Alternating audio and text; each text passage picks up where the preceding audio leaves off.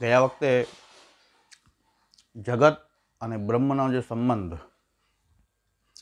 એના વિશે જે બીજા દર્શનો અને વાલ્લભ દર્શન જે છે, એને એક ચાર્ટ દ્વારા આપણે સમજૂતી મેળવવાનો ગયા વખતે આપણે પ્રયાસ કર્યો. ઘણાને ચાર્ટ ફરીથી સમજવાની ઈચ્છા છે, એટલે આપણે ફરીથી રિપીટ એકવાર કરી દઈએ છીએ. ગ્રુપમાં કોઈ ન સમજાણું હોય મેસેજ આપે છે, તો એના આધારે આપણે એ વિષયને ફરીથી પણ આપણે પુનરાવર્તન કરશું રિપીટ કરશું. આજે આપણે જે ગયા વખતે જે ચાર્ટ લીધો છે, એ ચાર્ટની ફરીથી એક સમજૂતી મેળવીને દ્રઢ કરીએ છીએ. અને આ જો સમજાઈ જશે, તો આપણી ફિલોસોફી આપણું તત્વદર્શન સાથે સાથે બીજા દર્શનો જે છે, એના અભ્યાસની અંદર પણ ઉપકારક થશે. તો સૌથી પહેલાં જોઈએ, તો પહેલું એક ચોરસ જે છે, એ જગતને બતાવે છે. કે જગત વિશે કેટલા કેટલા પ્રકારની શક્યતાઓ છે, કે જગત કેવું છે, એના વિશે દર્શનોએ શું શું કહ્યું છે, કઈ કઈ પ્રકારના દર્શનોએ તેનું જગતનું વર્ણન કર્યું છે? એ પહેલું ચોરસ જે સ્ક્વેર છે, એ જગતના સ્વરૂપ વિશે જે દર્શનોનો જે મત છે એ બતાવે છે. અને એના ઉપર એક બીજું સ્ક્વેર છે, બીજું એક ચોરસ એના ઉપર છે. એ જગત અને બ્રહ્મનો જે સંબંધ જે છે એ બતાવે છે. તો સૌથી પહેલાં જોઈએ તો કે જગત વિશે અલગ અલગ દર્શનો શું શું કહે છે? તો એની ચાર શક્યતા છે. ચાર પ્રકારથી વર્ણન કરે છે. એક છે સદવાદ. બીજું છે સદ અસદવાદ ત્રીજું છે સદ અસદ વિલક્ષણવાદ અને અસદવાદ. એટલે કે જગત સત્ય છે બીજું કહે છે કે જગત સદ અને અસતનું સદઅસદ એટલે કે બે સદ પણ છે, અસત પણ મિશ્રણ છે.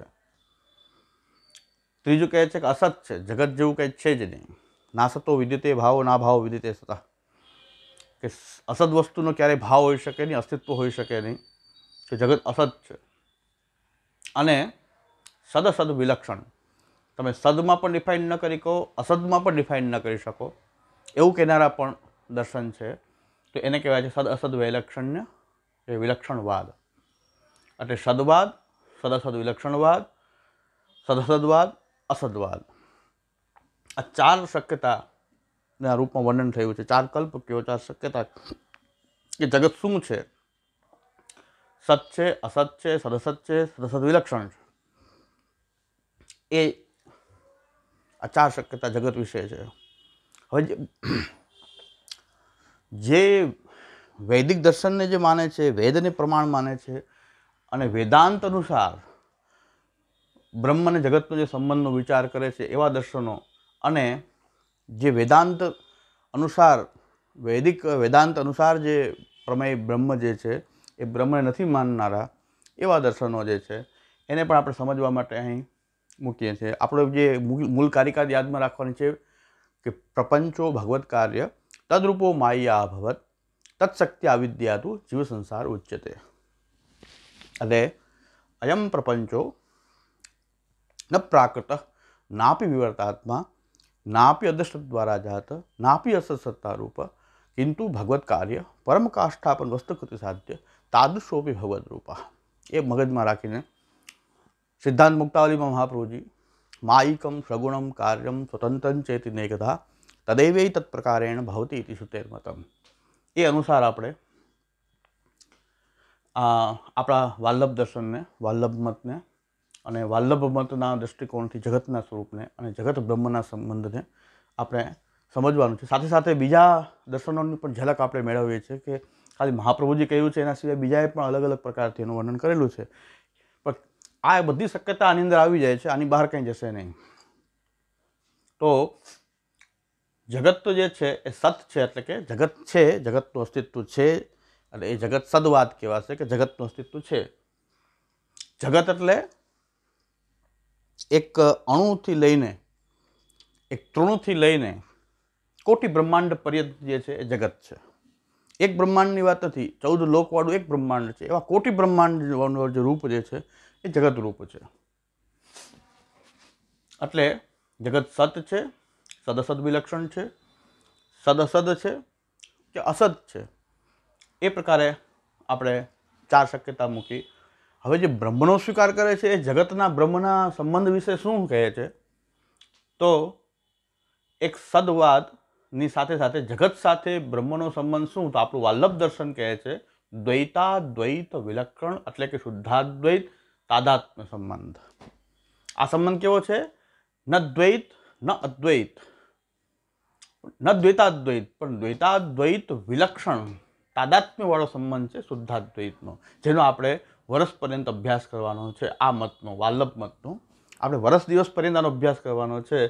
દ્વૈતાદ્વૈત વિલક્ષણ, શુદ્ધાદ્વૈત, તાદાત્મ્ય સંબંધ જે છે, એ જગત અને બ્રહ્મનો સંબંધ છે. એટલે કે દ્વૈત અદ્વૈત એટલે શું એ આપણે સમજી ગયા છે કે જગત અને બ્રહ્મ બે અલગ છે. દ્વૈત થયું? કેવલ બ્રહ્મ જ છે, જગત અને બ્રહ્મ બે એક જ છે, તો અદ્વૈત થઈ ગયું. જગત જે છે, એનું સાથે બ્રહ્મ સાથે કેવો સંબંધ છે કે સદ અસદ? અને સાથે સાથે સદસદવાદની સાથે સાથે દ્વૈત સંબંધ છે, બે અલગ છે. જગત અને બ્રહ્મ બે અલગ છે, જગત અને બ્રહ્મ બે એક છે. જગત અને બ્રહ્મ એની જે એકતા જેમાં અદ્વૈત છે, એક આ દ્વૈત આવ્યું છે, એક આ દ્વૈતાદ્વૈત વિલક્ષણ સંબંધ છે, એક દ્વૈતાદ્વૈત સંબંધ છે કે દ્વૈત અને અદ્વૈતનું બે મિશ્રણ એવી અવસ્થા છે, એ દ્વૈતાદ્વૈત છે. એક જગત અને બ્રહ્મ બે એક છે, અદ્વૈત છે. જગત અને બ્રહ્મ બે અલગ છે, દ્વૈત છે. એક ત્રીજું એમ કહે છે કે દ્વૈતાદ્વૈત છે અને એક છે દ્વૈતાદ્વૈત વિલક્ષણ કે દ્વૈત અને અદ્વૈતમાં ડિફાઇન ન કરી શકીએ. પણ એનાથી એક વિલક્ષણ સંબંધ, કોઈ તાદાત્મ્ય સંબંધ છે. તો આ શક્યતા છે. પહેલું જગત છે.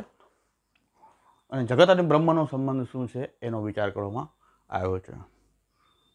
એ અનુસાર આપણે બધા દર્શનો જે છે એને આપણે મૂકીએ છીએ. તો એક જગત સત છે અને દ્વૈતાદ્વૈત વિલક્ષણ સંબંધ એની સાથે રહેલો છે એ બ્રાન્ચ છે વાલ્લભ મતની છે. એટલે એક દર્શન છે આપણું આ વાલ્લભ. સાથે સાથે જે બ્રહ્મનો સ્વીકાર નથી કરતા, તો પછી બ્રહ્મ સાથે સંબંધનો એનો વિચાર થઈ શકે નહીં. એટલે સદ માને છે જગતને, પણ બ્રહ્મ માનતા નથી. કે તો બ્રહ્મ નથી માનતા, તો બ્રહ્મ સાથે એના સંબંધનો વિચાર પણ થઈ શકે નહીં. એટલે એ આપણે સમજવા માટે લખ્યું છે, ન પરમાણુજન્ય, ન પ્રાકૃત, એટલે કે આ પ્રાકૃત નથી, અયમ પ્રપંચો ન પ્રાકૃત, ન પરમાણુજન્ય ન વિવર્તાત્મા એટલે નાપી વિવર્તાત્મા તો અહીં સાંખ્ય જે છે, એ સદ તો માને છે, પણ જગત સાથેનો સંબંધ, બ્રહ્મ સાથેના સંબંધનો વિચાર થતો નથી. કારણ કે ત્યાં બ્રહ્મ નથી. મીમાંસા દર્શન એ પણ જગતને સત માને છે કે જગત છે. પણ બ્રહ્મને નથી માનતા એટલે ત્યાં પણ બ્રહ્મ સાથે સંબંધનો વિચાર નહીં થાય. ખાલી સદવાદની સાથે સમજવા માટે સાંખ્ય અને આપણે મીમાંસા અહીંયા આપણે મૂકી છે.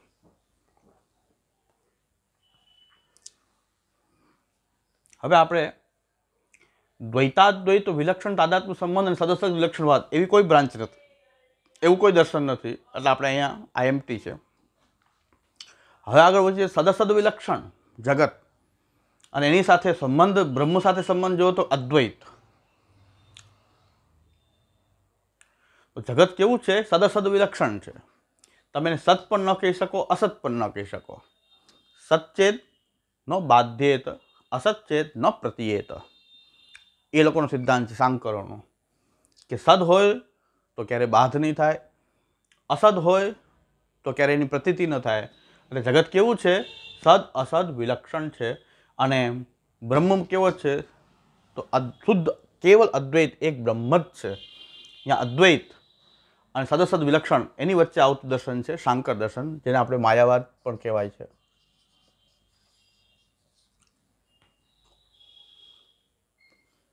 ઘણાની ભ્રાંતિ છે કે વાલભ દર્શનમાં જે શુદ્ધાદ્વૈત કીધું, એ કેવલ માયા રહિતમ શુદ્ધમ, ખાલી શંકરાચાર્યના વિરુદ્ધમાં જ આ વાત કહેવામાં આવી છે. નહીં.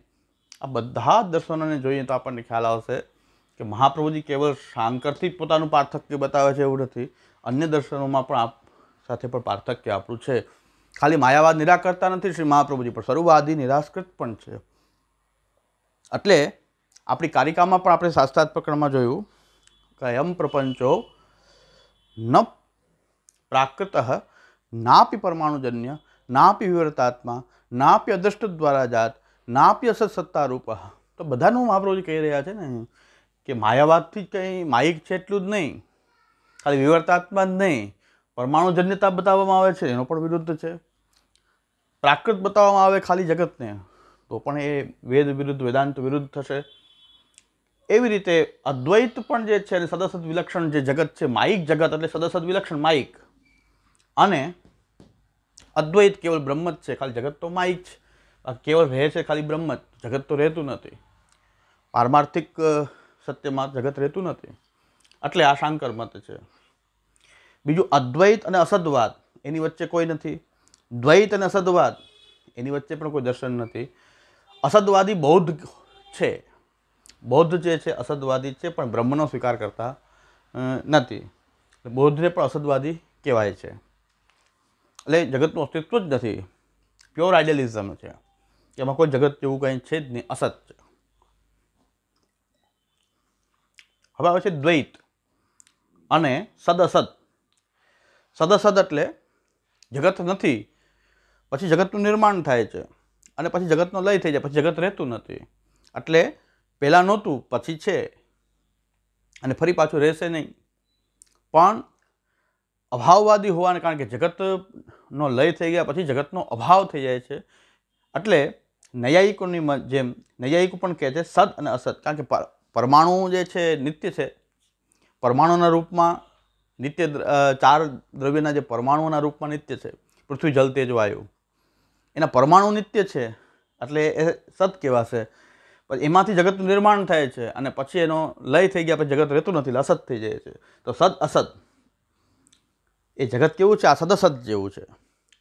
સત અને અસત બંને છે. અને બ્રહ્મ સાથે સંબંધ વિચારો તો મધ્વાચાર્યજી એક છે, માધ્વમત જે છે થર્ડ નંબરમાં એ માધ્વમત જે છે, એ દ્વૈત કે છે જગત અને બ્રહ્મ સાથે દ્વૈત સંબંધ છે. ત્યાર પછી સદસદવાદ અને દ્વૈતાદ્વૈત. સદસદ અને દ્વૈતાદ્વૈત વચ્ચે પણ કોઈ નથી. દ્વૈતાદ્વૈત અને સદવાદની વચ્ચે આવશે રામાનુજાચાર્ય રામાનુજ વિશિષ્ટાદ્વૈત. આ દ્વૈત મત છે, દ્વૈતાદ્વૈતની અંદર આ રામાનુજ લ્યો નિંબાર્ક પણ લઈ શકાય, સદ અને દ્વૈતાદ્વૈતમાં નિંબાર્ક. રામાનુજ, નિંબાર્ક વગેરે સદવાદી અને દ્વૈતાદ્વૈતી છે. એટલે દ્વૈત અને અદ્વૈત, સંબંધ કેવો છે? દ્વૈતાદ્વૈત. દ્વૈત અને અદ્વૈતનું મિશ્રણ છે. જગત સાથે એવો સંબંધ છે બ્રહ્મનો. અને જગત કેવું છે કે સત છે. તો આ રીતે આટલા દર્શનો જે છે અને સદ સાંખ્ય અને મીમાંસા જે છે, જગતને સત્ય માને છે, એટલે આપણે લખ્યું છે બ્રહ્મ સાથેનો સંબંધનો વિચાર નથી થતો, કારણ કે બ્રહ્મને તે માનતા નથી. એટલે વેદાંત વિરુદ્ધ મત શું કામ કહેવામાં આવ્યો છે? સાંખ્યનો, મીમાંસાનો ન્યાયિકોનો, કારણ કે એ બ્રહ્મનો સ્વીકાર કરતા નથી. તો આ આ સમજણ જે છે પહેલાં એક્સ સ્ક્વેર કરવાનું છે. એક્સ સ્ક્વેર છે, જગત બતાવે છે. એમાં સદ, સદસદ વિલક્ષણ, સદસદવાદ, અસદવાદ. એ ચાર એના થઈ ગયા. એની પર એક સ્ક્વેર મૂકશું આપણે. એ સ્ક્વેરમાં દ્વૈતાદ્વૈત વિલક્ષણ તાદાત્મ્ય સંબંધ, શુદ્ધાદ્વૈત. એ વાલ્લભમાં, અને આ બાજુ આવશે સદવાદ. અહીં પાછું આવશે દ્વૈતાદ્વૈત. અસદ, સદસદવાદ. આ સદવા ચાર થઈ ગયું, એના ઉપર ચાર મૂકી દે, બીજા ચાર સ્ક્વેર બીજું છે. તો દ્વૈતાદ્વૈત વિલક્ષણ, દ્વૈતાદ્વૈત, દ્વૈત અને અદ્વૈત. આટલી સમજણ આપણે એમાંથી મેળવીએ છીએ અને આ બીજી વખત આપણે રિપીટ કરી દઈએ છીએ. અને આખું વર્ષ આપણે અભ્યાસ કરશું તો ધીરે ધીરે બધા મુદ્દાઓ આપોઆપ ક્લિયર થઈ જશે. તો આ ચાર્ટની સમજૂતી આ રીતે છે. હવે હવે એક પ્રશ્ન આવ્યો છે કે આપણું આ જે મહાપ્રભુજીનું જે વાલ્લભ દર્શન છે, એ દર્શનને સાકાર બ્રહ્મવાદ શું કામ કહેવામાં આવે છે? કે શંકરાચાર્યજીએ નિરાકાર બ્રહ્મ કીધો, એની સામે આપણે સાકાર કહી રહ્યા છીએ, એટલે સાકાર બ્રહ્મવાદ છે. તો સાકાર બ્રહ્મવાદ ન કહીને વિરુદ્ધ ધર્માશ્રયવાદ એમ કેમ ન કહ્યું? આ એક પ્રશ્ન છે. બહુ સરસ પ્રશ્ન છે કે આપણે આખા વર્ષ જે ભણવાનું છે, મૂળ વિષય જે આપણો ટોપિક છે, સાકાર બ્રહ્મવાદ. સાકાર બ્રહ્મવાદ શું કામ રાખવામાં આવ્યું છે. નામ વિરુદ્ધ ધર્માશ્રયતાવાદ એ રીતે આપણી ફિલોસોફીની ઓળખાણ કેમ ન આપી? અને સાકાર બ્રહ્મવાદ શું આપી? શું એનું તાત્પર્ય શંકરાચાર્યના અગેન્સ્ટમાંથી પહેલી વસ્તુ આપણે મગજમાંથી કાઢી નાખીએ કે શ્રી મહાપ્રભુજી શ્રુતિનો જે સાચો અભિપ્રાય શું છે પોતાના મતે? શ્રુતિઓનો શું અભિપ્રાય છે? વેદનો શું અભિપ્રાય છે? વેદાંતનો શું સાચો નિષ્કર્ષ છે? એ બતાવવા માંગે છે. નહીં કે ખાલી શંકરાચાર્યજીના અગેન્સ્ટમાં કંઈ પોતાનો વાદ મૂકી રહ્યા છે. આ બધી ભ્રમણાઓ ઊભી કરવામાં આવેલી છે. રામાનુજાચાર્ય કે મધ્વાચાર્યજી કે ભાસ્કરાચાર્યજી કે બીજા બધા જે આચાર્યો છે, કે જેમના વાદને ખાલી એ દ્રષ્ટિથી ન જોવું જોઈએ કે કોઈની અગેન્સ્ટમાં ખાલી પોતાનું મતનું એ પ્રતિપાદન કરે છે. પણ શ્રુતિઓનો શું અભિપ્રાય છે, એમણે જે સંગ્રહ કર્યો છે વેદાદિ શાસ્ત્રોનો એના આધારે શું નિષ્કર્ષ છે એ આચાર્યો બતાવી રહ્યા છે. એનાથી કોઈનું ખંડન થતું હોય તો થાય. પણ ખંડન કરવા માટે જ કહેવામાં આવ્યું છે એવું આપણે માનવું જોઈએ નહીં. કોઈના વિશે ન માનવું જોઈએ. હું તો એમ કહું છું, કોઈના વિશે ન માનીએ આપણે કે કોઈના ખંડન માટે જ પ્રવૃત્ત થયા છે એવું શું કામ માનીએ? પણ એમના આધારે શ્રુતિઓની વેદાદી શાસ્ત્રોની એ વ્યાખ્યા વેદાદિ શાસ્ત્રોનો શું સાર છે, એ શું નિષ્કર્ષ છે એ બતાવી રહ્યા છે આચાર્યો. એટલે કોઈ એમ કહેતું હોય કે શંકરાચાર્યજીએ નિરાકાર બ્રહ્મ કીધો તો આપણે એના અગેન્સ્ટમાં સાકાર બ્રહ્મ કહી રહ્યા છીએ એવું નથી. પણ સાકાર બ્રહ્મવાદ કહેવાનું તાત્પર્ય ઘણું વિશાળ છે બ્રોડ છે. આપણી ફિલોસોફીનું સાકાર બ્રહ્મવાદની અંદર કેવળ આપણી ફિલોસોફી તો આવી જાય છે, પણ આપણી જે ભક્તિ જે છે, આપણી જે સાધના જે છે, સાકાર બ્રહ્મવાદ ઉપર આધારિત આપણી સાધના, ભક્તિ સાધના છે. સેવાની સાધના, કથાની, શરણાગતની જે સાધના જે છે, એનો બેઝ પણ આ સાકાર બ્રહ્મવાદ છે. એટલે શ્રી ગુસાઈજી, આપણી આ દર્શનનું નામ સાકાર બ્રહ્મવાદ આપી રહ્યા છે. ઘણા તાત્પર્યથી આપી રહ્યા છે સાકાર બ્રહ્મવાદ.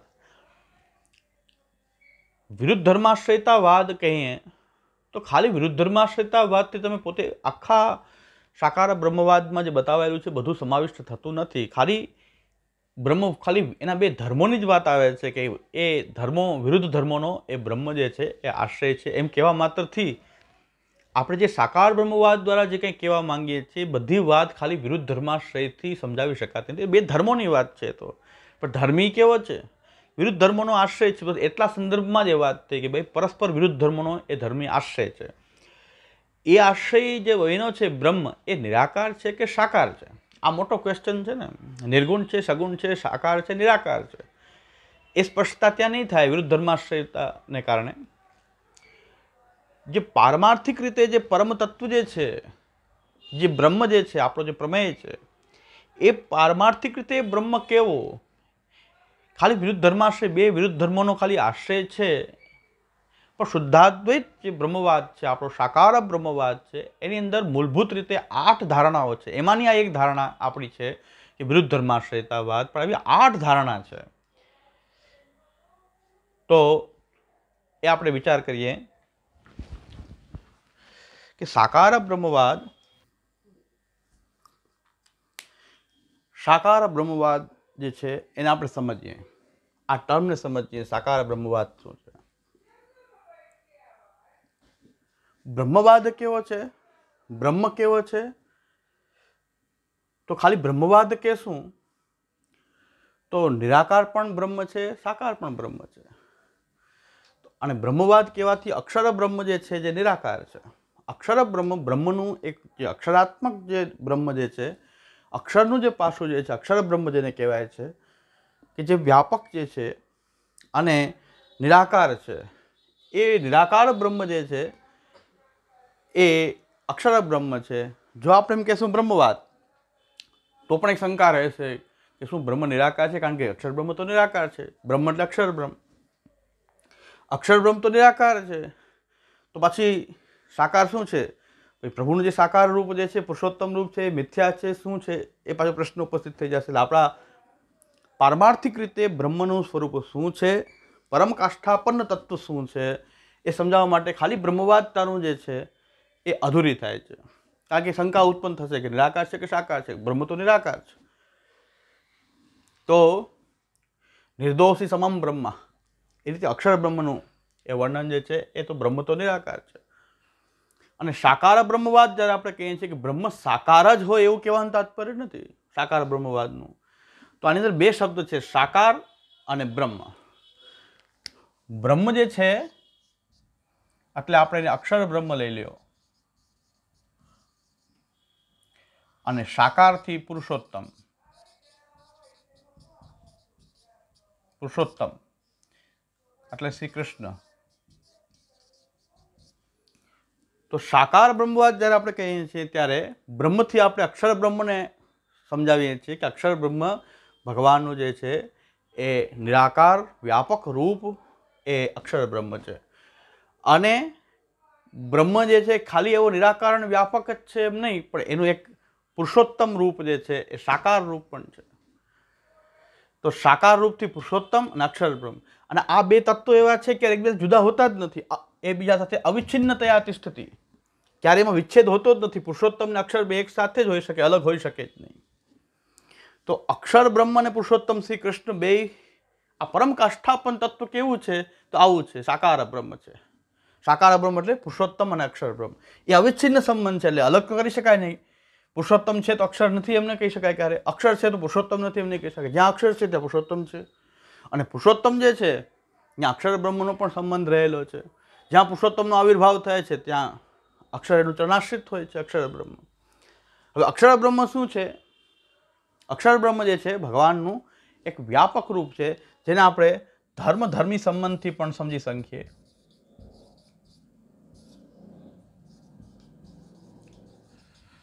ધર્મધર્મી સંબંધથી આપણે એને સમજી શકીએ કે જેમ ફૂલ અને સુગંધ. સુગંધ જે છે એ ફૂલમાંથી જ આવે છે. ફૂલ વિના સુગંધ હોઈ શકે નહીં, પણ સુગંધ વ્યાપક રૂપ હોય છે. નિરાકાર રૂપ હોય છે. આખા બગીચામાં વ્યાપ્ત હોય છે. એ આવ, એ સુગંધ પાછી કોને આશ્રિત છે? એના ધર્મીને આશ્રિત છે, ફૂલને આધારિત છે. તો ફૂલ જે છે એ ધર્મી છે, સુગંધ એનો ધર્મ છે. સૂર્યનો પ્રકાશ જે છે, બીજું ઉદાહરણ લઈએ, સૂર્યપ્રકાશ, સૂર્ય અને પ્રકાશ. પ્રકાશ જે છે તો સૂર્ય છે જ. સુગંધ હોય તો તેની સુગંધ હોય તો જે સુગંધ આવી રહી છે એ ફૂલની જ સુગંધ આવી રહી છે. એટલે ફૂલ અને સુગંધનો જે સંબંધ, સૂર્યને જે પ્રકાશ સંબંધ છે, એ સંબંધ પુરુષોત્તમ અને અક્ષર બ્રહ્મનો સંબંધ છે. અક્ષર બ્રહ્મ એ વ્યાપક રૂપ જે છે અને પુરુષોત્તમ જે છે એનું સાકાર રૂપ છે. સાકાર, બ્રહ્મવાદ, આ વાત કે, આ વાતને સમજાવી રહ્યું છે કે જે પરમ પરનો જે પરમ તત્વ જે છે એ નિરાકાર, સાકાર ઉભય છે.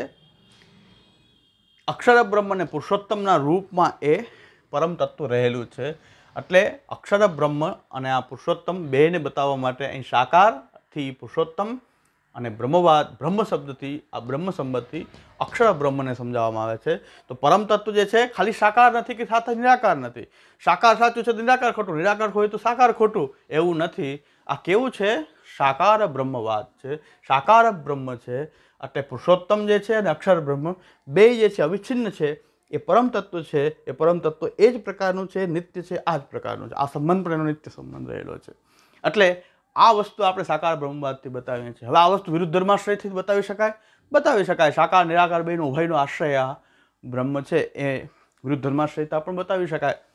પણ ખાલી વિરુદ્ધ ધર્માશ્રયતા બતાવશું તો બીજી બધી ઘણી વાત વાત જે છે કે અક્ષર અને પુરુષોત્તમનો જે સંબંધ જે છે, એ અક્ષર અને જે પુરુષોત્તમનો જે સંબંધ છે એ સ્પષ્ટ નહીં થાય ખાલી વિરુદ્ધ ધર્માશ્રયતા વાતથી. અને આ વસ્તુને સમજવા માટે ખાલી આપણે વિરુદ્ધ ધર્માશ્રયના સંદર્ભમાં જ સાકાર કહીએ છીએ એવું નથી. પણ સાકાર બ્રહ્મવાદની અંદર આઠ ધારણા રહેલી છે. એ આઠ ધારણાઓ જે છે એ બધાને સારી રીતે એ પ્રતિબિંબિત થાય છે આ સાકાર બ્રહ્મવાદ. આની અંદર રહેલી આઠ ધારણાઓ છે. આઠ ધારણાઓનો આપણે વિસ્તારથી આગળ વિચાર કરશું. પણ અત્યારે ખાલી એના ટૂંકમાં વિચાર કરી લઈએ છીએ. પહેલું છે બ્રહ્મવાદ. બ્રહ્મવાદ. જે કાંઈ આ સૃષ્ટિમાં દેખાઈ રહ્યું છે, જે કાંઈ પણ છે, એ બ્રહ્મ જ છે. યત્ર યેન યતો યસ્ય યસ્મૈ યદ્ય યથા યથા સાદિદમ ભગવાન સાક્ષાત પ્રધાન પુરુષેશ્વર. જે કાંઈ પણ પ્રકટ થયું છે સૃષ્ટિમાં એ બધું જ બ્રહ્માત્મક છે, બ્રહ્મોપાદાનક હોવાને કારણે બ્રહ્માત્મક છે. આ વાત જે છે એને બ્રહ્મવાદ કહેવાય છે. બધું બ્રહ્માત્મક છે. જે કાંઈ પણ છે, યત્ર યેન યતો યસ્ય યસ્મૈ યજ્ઞ યથા યથા શાલમ ભગવાન સાક્ષાત પ્રધાન પુરુષેશ્વર. યત્ર જે કાંઈ પણ જ્યાં છે, જેના દ્વારા છે યત્ર યેન જેનમાંથી છે, યતઃ અને યસ્મય જેના માટે છે, યસ્ય જેનું છે યજ્ઞ જે કાંઈ પણ છે જેવી રીતે છે યથા શાદિદમ ભગવાન સાક્ષાત પ્રધાન પ્રધાન પ્રકૃતિ, પુરુષ, અક્ષર, પ્રધાન પુરુષ અને ઈશ્વરરૂપ કાલ. પ્રધાન પુરુષ, ઈશ્વર, કાલ જે કાંઈ પણ છે, એક જ તત્વ સર્વરૂપ બન્યું છે, એ બતાવે છે, એને કહેવાય છે બ્રહ્મવાદ. સર્વમ ખલુ ઇદમ બ્રહ્મ, શ્રુતિમાં પણ કહેવામાં આવ્યું છે, સર્વમ ખલુ ઇદમ બ્રહ્મ, એ બ્રહ્મવાદ છે. સાકાર બ્રહ્મવાદની અંદર બધું જ બ્રહ્માત્મક છે, બધું અક્ષરાત્મક છે, અક્ષરની બહાર કાંઈ નથી એ બ્રહ્મવાદથી સ્પષ્ટ થઈ જાય છે. બીજી વાત આવશે કે આ વાદને સમજવા માટે હજી બીજો મુદ્દો પણ ખાલી બ્રહ્મવાદથી સમજાય નહીં જાય. તો બીજી વાત સમજવા માટે હજી અલગ અલગ એંગલથી સમજીએ. તો વેદની શ્રુતિઓ ક્યાંય સાકાર કહે છે, ક્યાંય નિરાકાર કહે છે, નિર્ગુણ પણ કહે છે, સગુણ પણ કહે છે, એ સમો આગે ને સમો મશકે ને કહે છે, એકદમ અણુમાણું કહે છે ને વિરાટમાં વિરાટ પણ કહે છે. તો આ બધા જ પ્રકારના વિરુદ્ધ ધર્મો જે છે તો વિરુદ્ધ ધર્માશ્રય વિરુદ્ધ ધર્માશ્રયતાવાદ આ પરસ્પર જે કાંઈ વિરુદ્ધ લાગતા ધર્મો જે છે આપણે એમ લાગે કે વિરુદ્ધ ધર્મ કે એક જગ્યાએ ન રહી શકે, પણ બ્રહ્મની અંદર બધો જ વિરોધનું સમન થઈ જાય. બધા જ વિરુદ્ધ ધર્મો જે છે, જેની અંદર આશ્રય પામે છે, એ વિરુદ્ધ ધર્માશ્રયતાવાદ પણ આપણે સમજવો પડે. ત્રીજું થશે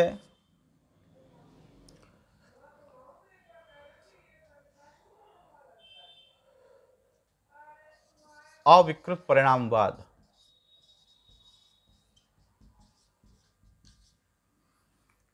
જગતના સંદર્ભમાં જોઈએ તો બે પ્રકાર હોય છે.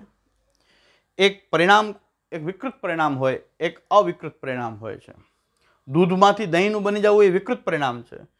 અને સોનામાંથી વિવિધ પ્રકારના ઘરેણાં બની જવા એ અવિકૃત પરિણામવાદ છે. તો જ્યારે જગતના રૂપમાં બ્રહ્મ જગતના રૂપમાં પરિણત થાય છે જગત બ્રહ્મનું પરિણામ છે, પણ અવિકૃત પરિણામ છે. પોતે વિકૃ, વિકાર પામતો નથી. છતાં પણ પોતે વિકાર પામતો નથી. પરિણામ હોવા છતાં પણ એ વિકાર પામતો નથી. એ બતાવવા માટે આપણી ધારણા છે, અવિકૃત પરિણામવાદ. ચોથું.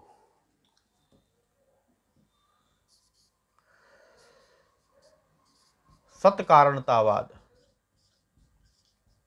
બ્રહ્મ આ જગતનું કારણ છે, સત્કારણતા.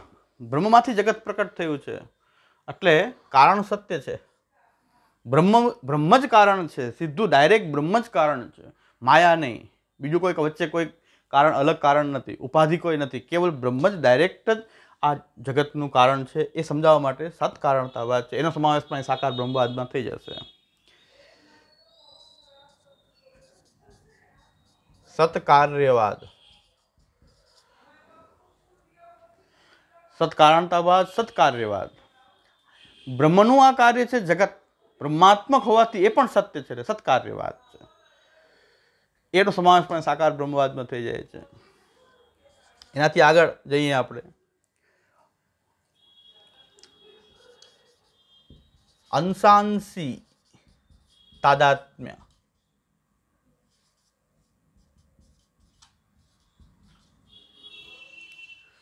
જીવના સંદર્ભમાં જોઈએ, જગતના સંદર્ભમાં જોઈએ તો અવિકૃત પરિણામ આવશે. જીવ જે છે એ આ સાકાર બ્રહ્મ જે છે, એમાંથી જે અક્ષર બ્રહ્મ છે, એનો ડાયરેક્ટ અક્ષર બ્રહ્મનો અંશ જે છે એ જીવ હોવાથી બ્રહ્મ સાથેનો સંબંધ કેવો છે? અંશાંશી ભાવવાળો સંબંધ હોવાથી. અને અંશાંશી ભાવ હોવાને કારણે એનું તાદાત્મ્ય છે. એટલે ન ભેદ, ન અભેદ, ન ભેદાભેદ, પણ એક વિલક્ષણ એ પોતે એક જ અનેક રૂપ થઈ રહ્યો છે, અનેક અંશામાં વિભાજિત થઈ રહ્યો છતાં પણ પોતે એક રહે છે. એવો જે સંબંધ, તાદાત્મ્ય સંબંધ છે, એ અંશાંશી તાદાત્મ્ય સંબંધ, જીવ અને બ્રહ્મનો સંબંધ, અંશાંશી તાદાત્મ્યવાદ છે.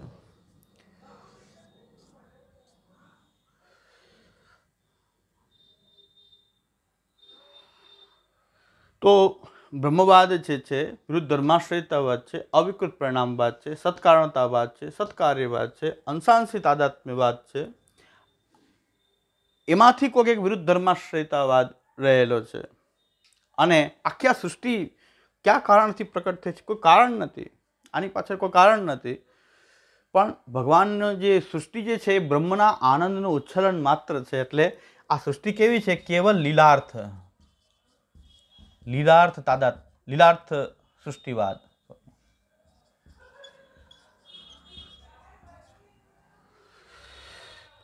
આ સૃષ્ટિ કેવી છે કે ખાલી લીલાર્થ જ પ્રકટ થઈ રહી છે? ભગવાનની લીલા છે. સૃષ્ટિ લીલા એટલે પોતાનામાં રહેલા આનંદનું એ ખાલી ઉચ્છલન માત્ર છે. એટલે બ્રહ્મવાદ, વિરુદ્ધ ધર્માશ્રિતાવાદ અવિકૃપ પરિણામવાદ, સત્કારણતાવાદ, સત્કાર્યવાદ અંશાંશિત આદાત્મ્યવાદ લીલાર્થ સૃષ્ટિવાદ, આ બધાનો સમાવેશ જે છે આ સાકાર બ્રહ્મવાદની અંદર થાય છે. બ્રહ્મવાદ આપણી જે ધારણા છે, એમાં વિરુદ્ધ ધર્માશ્રિતતા પણ છે, અવિકૃત પરિણામ છે, સત્કારણ છે, સત્કાર્ય છે અંશાંશિત વિવાદ છે. એટલે આ બધાનો એ સમાવેશ જે છે એ સાકાર બ્રહ્મવાદ ટર્મમાં થાય છે. એક મિનિટ કટ કરો.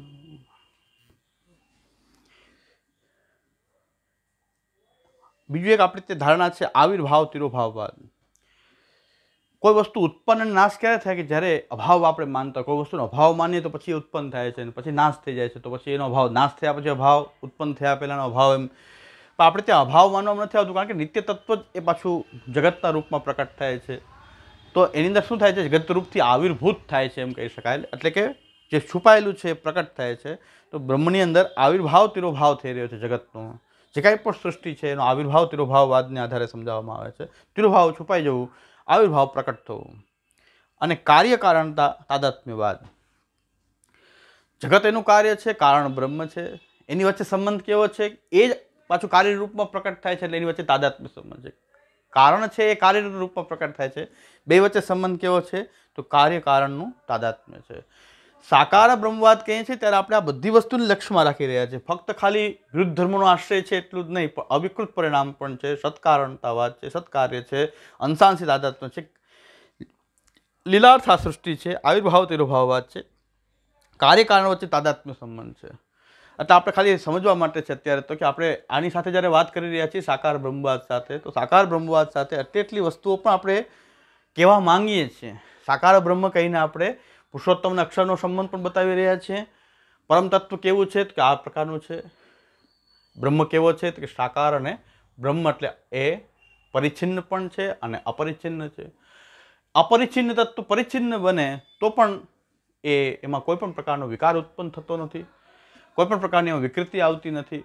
એની પરિચ્છેદ થવા છતાં પરિચ્છેદ પણ સત્ય છે. ખાલી બ્રહ્મનું અપરિચ્છિન્નતા જ સત્ય છે એવું નહીં. એની પરિચ્છિન્નતા પણ એની બધી સત્ય છે. આ બધી એનું અપરિચ્છિન્ન તત્વ પરિચ્છિન્ન બને છે. નિરાકાર બ્રહ્મ સાકાર બને છે. અને આ સાકાર સાથે આ અક્ષર બ્રહ્મ જે છે એનો તાદાત્મ્ય સંબંધ ક્યારેય પણ અવિચ્છિન્ન ભાવથી એ સ્થિત રહે છે. બે વચ્ચે ક્યારેય ક્યારેય ભેદ ઉત્પન્ન થતો નથી. કારણ કે બે એક જ તત્વ છે. અક્ષર બ્રહ્મ અને પુરુષોત્તમને સમજવા માટે હજી એક ઉદાહરણ વેદમાં પણ વૈદિક ઉદાહરણ છે કે છાશ અને માખણ. માખણની અંદરથી એક પિંડ ભાવ થાય છે છા- છાશમાં જ એક પિંડ ભાવ થાય ત્યારે આપણે એને માખણ કહીએ છીએ. પણ માખણ છાશથી અલગ ક્યારે હોઈ શકે? નહીં. છાશ અને માખણનો સંબંધ જે છે એ કેવો છે કે ભાઈ છાશ હોય તો જ માખણ પ્રકટ થશે. અક્ષર બ્રહ્મ ન હોય તો પુરુષોત્તમનું પ્રાકટ્ય ક્યાં થશે? પુરુષોત્તમ ક્યાં બિરાજશે? એટલે છાશમાંથી માખણનું પિંડ બને છે. એ માખણનું પિંડ પણ છાશમાં વ્યાપ્ત હોય છે માખણ. એ જ પિંડના રૂપમાં પ્રકટ થાય છે. તો એ પુરુષોત્તમ છે. અને છાશમાં રહેલું એ માખણ આખું જે ભરેલું છે છાશની અંદર, તો એ અક્ષર બ્રહ્મ છે. એમ સમજી લઈએ. આ પરમ તત્વ આ પ્રકારનું છે. તો ખાલી આપણે એને વિરુદ્ધ ધર્મનો આશ્રય બતાવવાનું તાત્પર્ય નથી, પણ પુરુષોત્તમ અને અક્ષર બ્રહ્મનો સંબંધ પણ આપણે બતાવીએ. અને સાથે સાથે બ્રહ્મવાદની સાથે સાથે આપણે વિરુદ્ધ ધર્માશ્રયતાવાદ પણ કહેવા માંગીએ છીએ. અવિકૃત પરિણામ પણ બતાવવા માંગીએ છીએ. સત્કારણ, સત્કાર્ય અંશાંશિત તાદાત્મ્ય લીલા સૃષ્ટિ આવિર્ભાવ, તિરોભાવ, કાર્યકારણ, તાદાત્મ્ય, આ બધું જ વાત જે છે આપણે કહેવા માંગીએ છીએ. એટલે સાકાર બ્રહ્મવાદ છે, બહુ વિશાળ અર્થમાં બતાવવામાં આવે છે.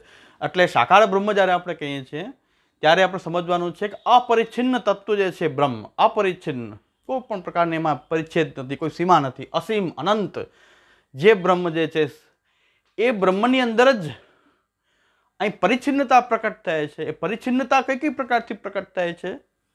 તો કે એમાં શુદ્ધ સાકાર પુરુષોત્તમના રૂપમાં એ પ્રકટ થાય છે. પરિચ્છિન્ન ભાવ છે.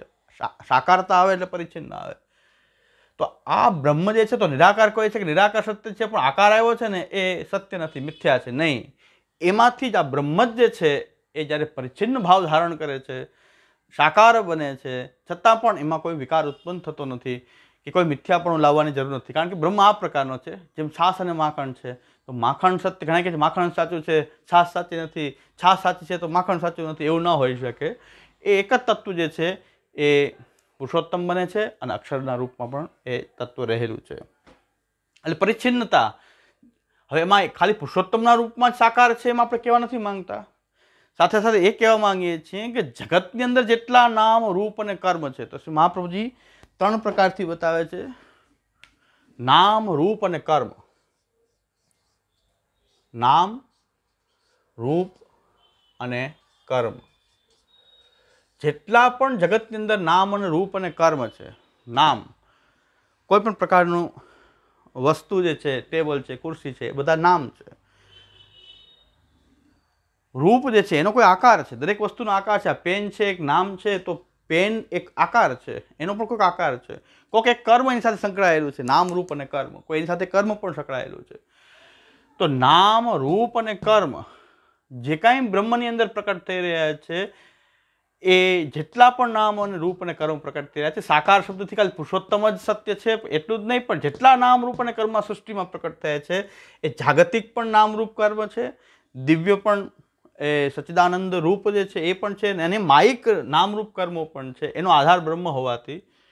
એ ત્રણેય પ્રકારના નામ રૂપ જે કર્મ જે છે, એમાં જે સાકારતા આવી રહી છે નામરૂપની, જે સાકારતા જે છે, ખાલી પુરુષોત્તમના અર્થમાં જ નહીં, પણ સાકાર બ્રહ્મવાથી સાકાર ટર્મથી જેટલા પણ નામ રૂપ અને કર્મ જે છે, એ બ્રહ્માત્મક છે. એ પણ બ્રહ્મના લીધેલા રૂપ જે છે નામ રૂપ અને કર્મ.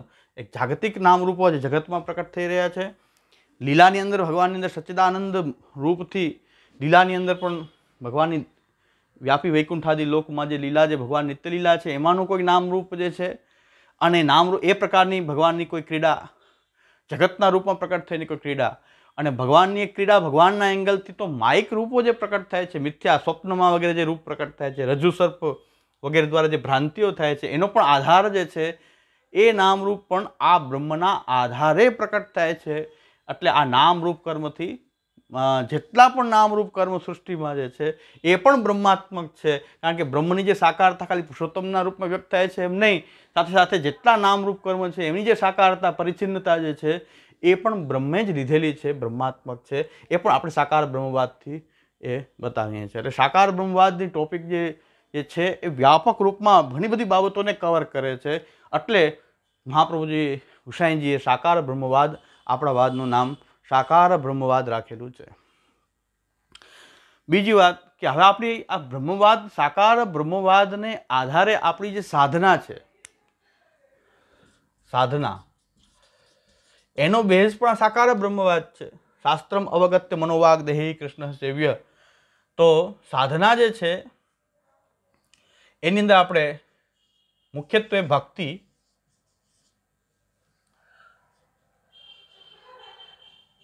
ભક્તિ અને શરણાગતિ. ભક્તિની અંદર પાછું સેવાત્મિકા, સેવા અને કથા.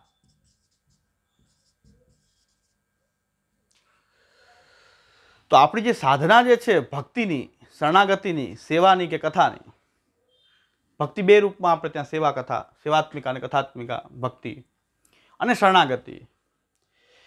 એનો પણ બેઝ તો સાકાર બ્રહ્મ છે, જે બ્રહ્મ કેવો છે, સાકાર બ્રહ્મ છે.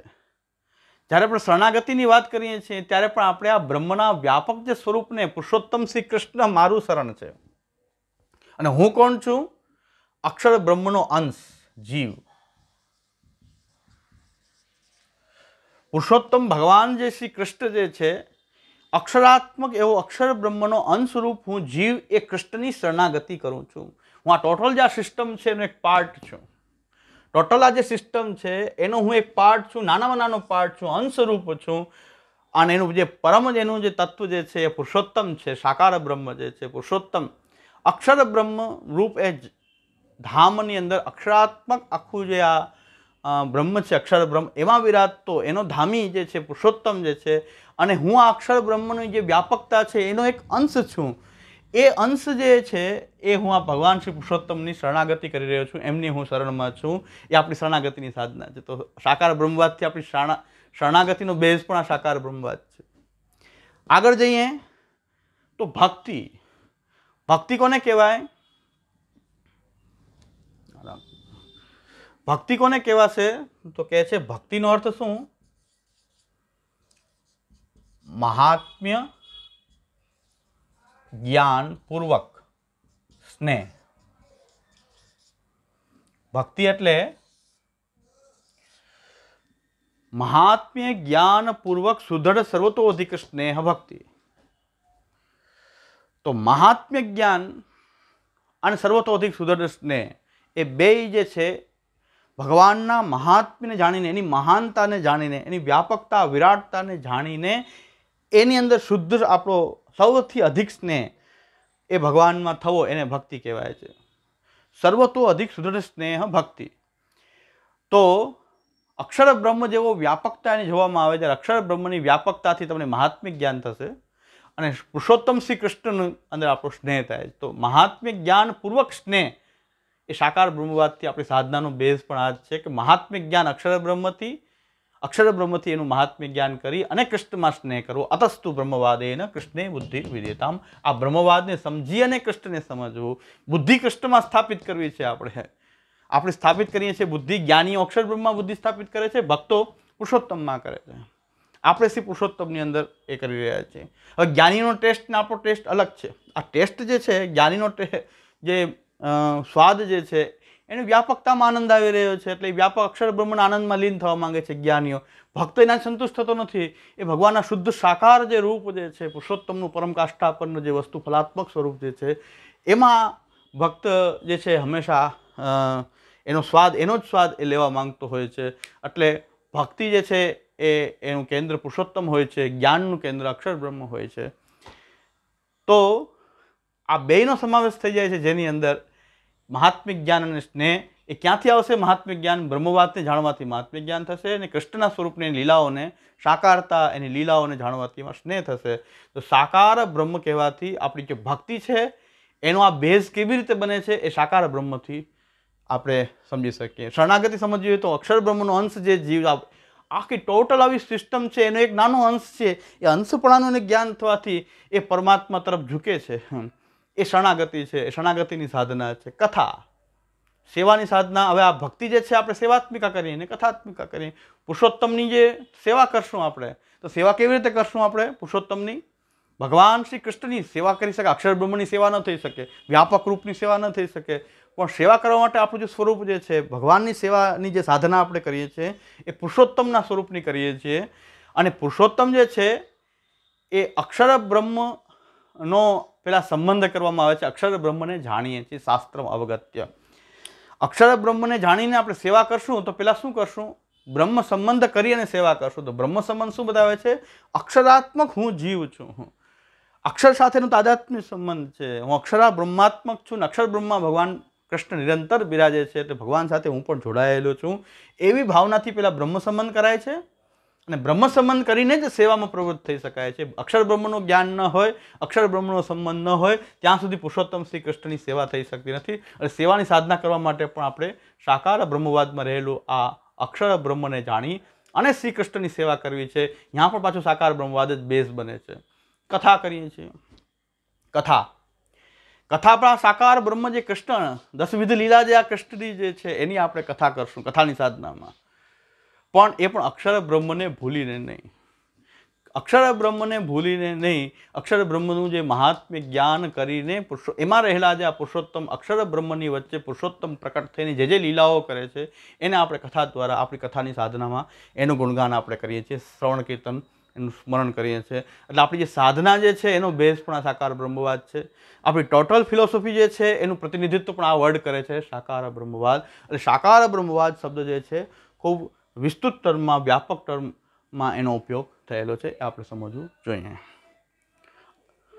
અને આ પ્રશ્ન બહુ સુંદર છે કે આપણા વિષયને સમજવા માટે બહુ જરૂરી છે, સાધનાને સમજવા માટે પણ બહુ જરૂરી હતો.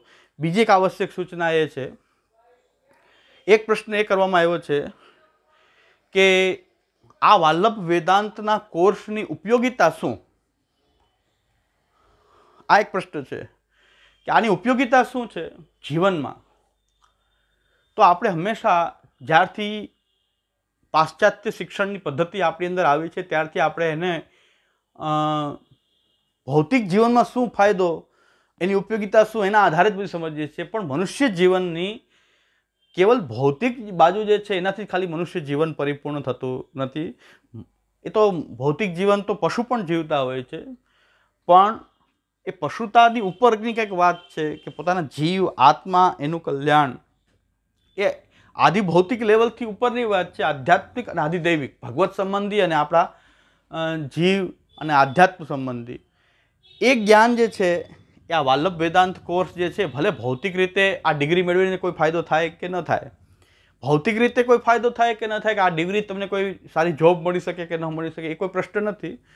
પણ આપણો આત્માનો આત્મિક વિકાસ, આધ્યાત્મિક વિકાસ આપણી આધિદૈવિક જે ભગવત સંબંધી ભક્તિ જે છે, જેને ભક્તિ માર્ગમાં, શરણાગતિના માર્ગમાં કે આપણા સંસ્કૃતિને, આપણા ધર્મને, આપણા શાસ્ત્રને, આપણા વેદાંતને કે દર્શનને, જેને સારી રીતે સમજવું છે, જાણવું છે, કારણ કે આપણે એક પાસું છે આપણા જીવનનું જે આપણે ભૂલી ગયા છે, કેવલ ભૌતિકવાદ જીવનમાં આવશે તો સમાજની અંદર કોઈ વ્યવસ્થા નહીં રહે. અવ્યવસ્થા ઉત્પન્ન થશે પશુ જેવો વ્યક્તિ થઈ જશે અને એ અવ્યવસ્થાનું ઘોર પરિણામ એવું આવશે કે સમાજની અંદર અંધાધૂંધી ઉત્પન્ન થઈ જશે. તો ધર્મ જે છે, એ આ પ્રજાને ધારણ કરીને રાખે છે, સમાજને ધારણ કરીને રાખે છે, તો ધર્મને સમજવા માટે, આપણા આધ્યાત્મને સમજવા માટે, આપણા સંપ્રદાય, ધર્મો, આપણા દર્શન, આપણી આત્મા, જીવ, જગત, બ્રહ્મ, પરમ તત્વ આ બધી વસ્તુનો વિચાર ઋષિમુનિઓના કાલથી આપણે ત્યાં થતો આવ્યો છે. અને એ આપણે ભૂલ્યા વગર આપણે ભૌતિક જીવન પણ જીવવું, ભૌતિક અભ્યાસ પણ કરવો જોઈએ. તો સાથે સાથે આ વસ્તુ આપણે ભૂલી જઈએ છીએ, જેના કારણે આપણે પશુ જેવા થઈ જઈએ છીએ આગળ જતાં. નૈતિકતા પણ ભૂલાઈ જાય છે. ધર્મ નહીં રહે તો નૈતિકતા પણ રહેતી નથી. તો નીતિ, ધર્મ આ બધું આપણા જીવનના પાસા છે. એ આવા જ અભ્યાસક્રમો જે છે, જે વેદાંત, દર્શન, શાસ્ત્ર અને આપણી પ્રાચીન સંસ્કૃત ભાષા, એ અભ્યાસ દ્વારા આપણે આપણા આત્મા આધિ, આધ્યાત્મિક અને આધિદૈવિક વિકાસ આનાથી થાય છે. જેનો આધ્યાત્મિક આધિદૈવિક વિકાસ થયો છે અને ભૌતિક જીવન પણ બહુ સરળતાથી એ પસાર થઈ જાય. નહીં તો ભૌતિક જીવન પણ સારી રીતે જીવી શકાતું નથી. કારણ કે અત્યારે કોરોના કાળની અંદર ગમે ત્યારે જીવન સમાપ્ત થઈ જશે. માણસ ડરતો જ રહે, ડરતો જ રહે. પણ જ્યારે આત્માનો વિચાર કરશે કે જીવ જે છે એ નિરંતર ભગવાનનો અંશ છે, શાશ્વત અંશ છે, જે કાંઈ થવાનું છે એ તો થવાનું જ છે મૃત્યુ આદિ થવાનું જ છે.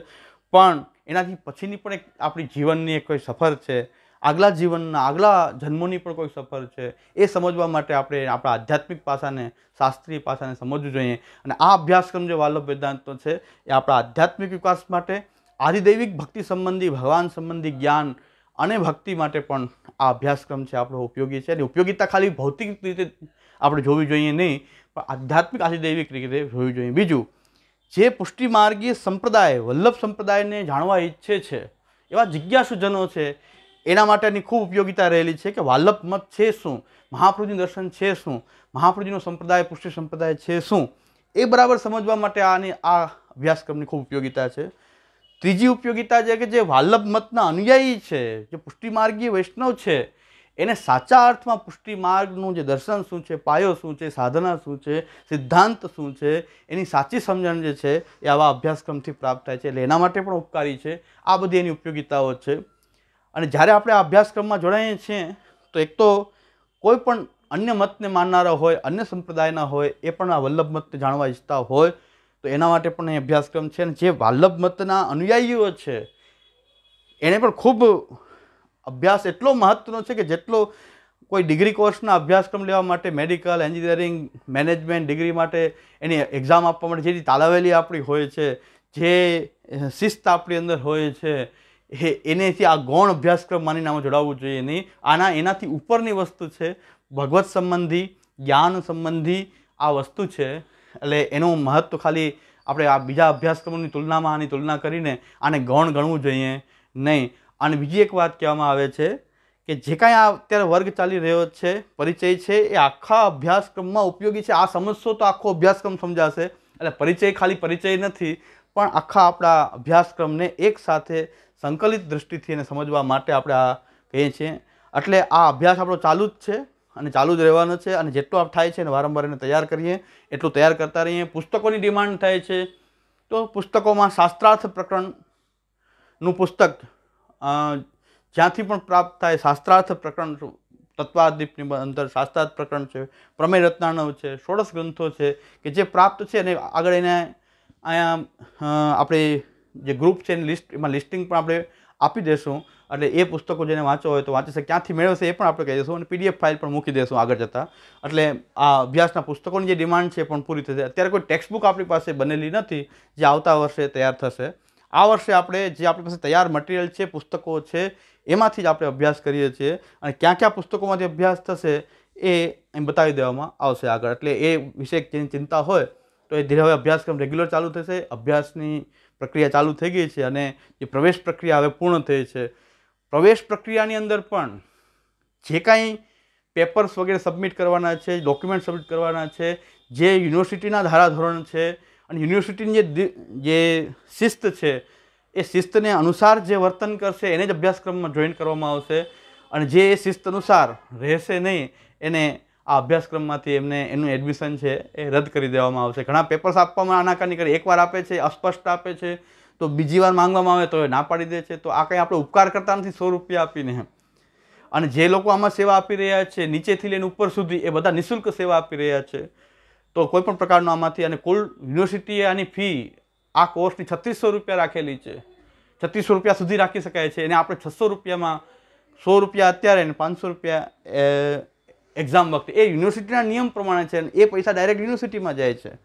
એટલે એમાં પણ કોઈ સો રૂપિયા આપીને કે પાંચસો રૂપિયા, છસો રૂપિયા આપીને કોઈ ઉપકાર કરતા નથી. પણ જે પેપર્સ જે જોતા હશે, જે માહિતી જોતી હશે, નિયમ પ્રમાણે એ બધાએ નિયમનું પાલન કરવું પડશે અને બધાએ કરવું જોઈએ, શિસ્તતાપૂર્વક કરવું જોઈએ, સહકાર આપવો જોઈએ.